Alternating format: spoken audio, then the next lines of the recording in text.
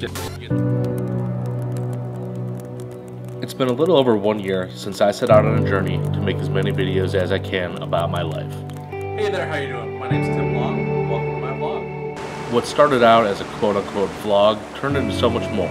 From the first day of hopping over streams and ducking under logs to visiting Mexican beaches and flying high over the city of Akron. I have learned so much more about myself than I would ever imagine. With each day's end, I look at my accomplishments and where I'm heading next.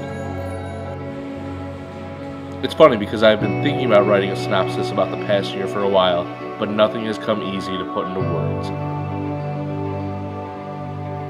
And I realize it's because I tell stories visually. Is that a picture or a video? It's a video. Oh! I've taken a lot of what I learned by age 30 and really honed it in for turning 31. I know you're all probably thinking, ugh, Detroit, like, nah, I don't want to do that, but I did a lot of watching the past 12 to 15 months, not just watching what other people are doing, but watching myself grow in new ways.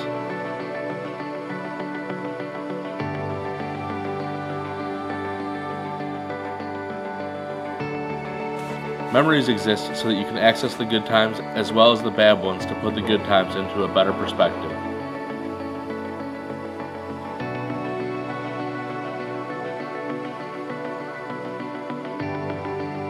Keep a log of your experiences. Use it when you need it the most. It looks so fucking crazy. espresso poured over it.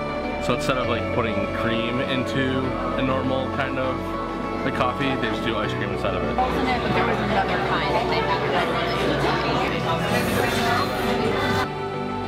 It's great to recap your year and look at your accomplishments.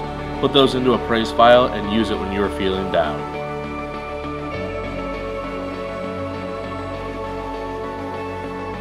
What's? Tim Long with you.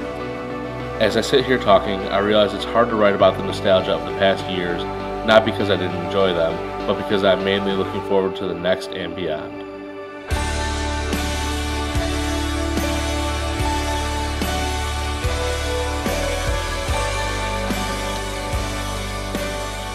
So that's where I find myself, cleansing away the past year with the rain and looking full on into the new year, embracing the changes that may come and reveling in the good times along the way.